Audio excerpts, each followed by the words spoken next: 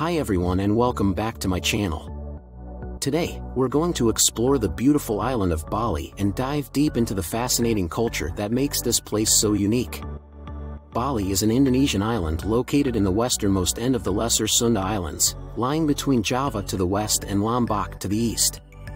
The culture in Bali is strongly influenced by Hinduism, which arrived on the island from Java in the 11th century. So, let's start by discussing some of the key aspects of Balinese culture. 1. Religion. Balinese people are predominantly Hindu and their religion is deeply intertwined with their everyday lives. You'll see offerings and ceremonies taking place all over the island, including in homes, temples, and even on the streets. 2. Art and music. Bali is known for its beautiful and intricate art, including paintings, sculptures, and wood carvings.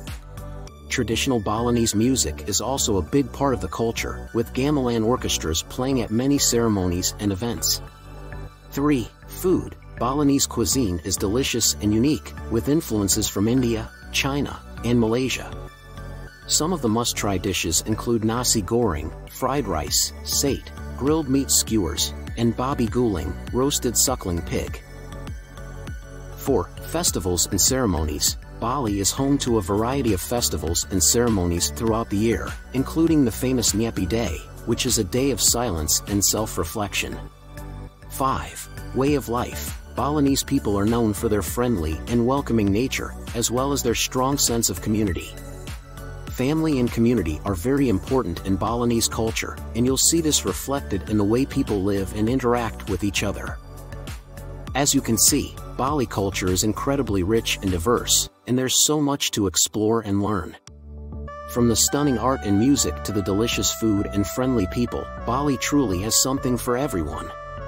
Thanks for watching. If you enjoyed this video, don't forget to like, comment, and subscribe to my channel for more travel content. And if you've ever been to Bali, I'd love to hear about your experiences in the comments below. See you in the next video.